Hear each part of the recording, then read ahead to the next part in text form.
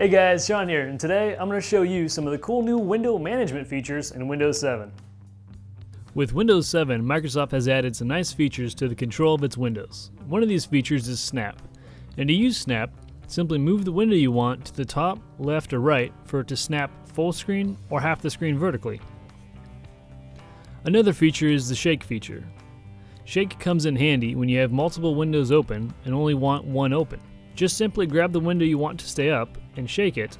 All the other windows will be minimized. And if you want all the other windows back, simply grab that original window and shake it again. Now if you have multiple windows open, and you want them to be stored vertically, just right click on the taskbar, then select Show Windows Side by Side. This will sort the windows on your screen in a vertical manner. You can also do the same if you want your windows to cascade, also if you want them to be stacked horizontally. One more feature that helps in window management is the keyboard shortcut, Windows plus any arrow key. This simply allows you to move a window to the left, right, maximize, and minimize just by using the arrow keys plus the window key.